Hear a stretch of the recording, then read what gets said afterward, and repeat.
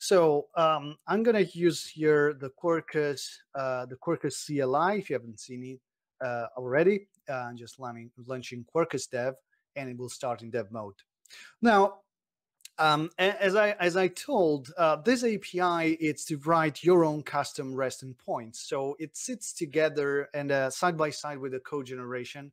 Um, but uh, probably when you use this, you may want to disable automated code generation to just uh, to just customize and write your own REST endpoints.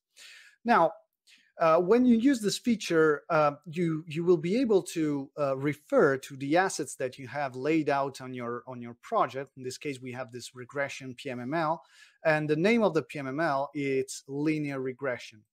So uh, this API allows you to create uh, a path through which you refer an identifier through which you refer to the to the to the model. So uh, this is done through this interface, the AppRoot interface. So you say that through the AppRoot, you want to reach your predictions, and then you will reach the linreg named uh, prediction. By this, you get an ID, and then you are able to uh, use the service for that particular for that particular assets to evaluate the the resource.